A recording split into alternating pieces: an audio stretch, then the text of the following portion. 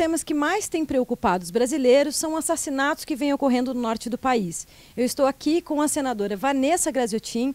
Vanessa, a gente gostaria de saber quais são as medidas efetivas que se pode tomar para que se evitem novos assassinatos no norte do Brasil.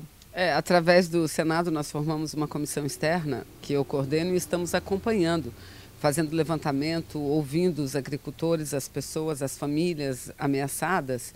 E nós estamos chegando à conclusão que não é nenhuma novidade, mas que acredito temos que falar com muita força, muito entusiasmo para que ela se efetive na prática.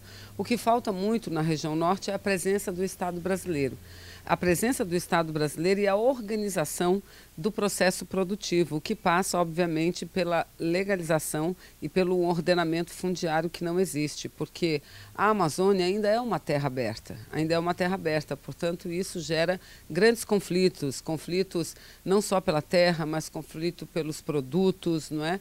Que é, contrapõe os pequenos produtores, os agricultores, com aqueles grandes, mas são grandes que, no geral, vivem na ilegalidade. Então, uma presença permanente do Estado, a priorização de tantos e importantes programas sociais que existem, como Terra Legal, Bolsa Família, para essas áreas de conflito, eu tenho certeza que a gente resolverá o problema não só do ponto de vista conjuntural, momentâneo, mas resolverá definitivamente o problema.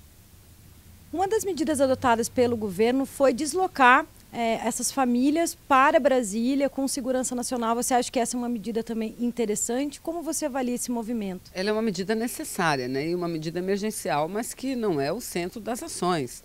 O centro das ações, por exemplo, é, foi o envio das forças federais, mas não para que elas passem um tempo e saiam, mas as forças federais estão indo lá para que organizem, ajudem na organização, é, governo federal, governos estaduais e municípios, numa presença mais ostensiva é, das forças forças de segurança é, na região mais ostensiva e permanente.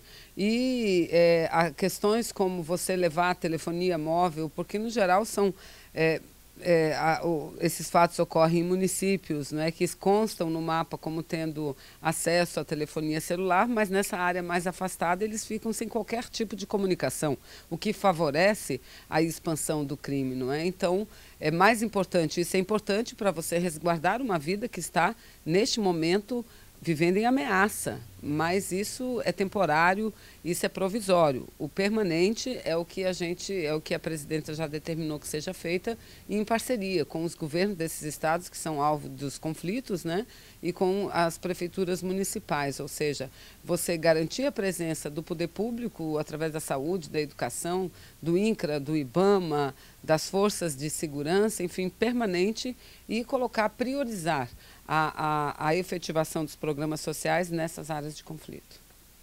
Muito obrigada, senadora. Aqui é a Carla Santos para o Boletim Vermelho.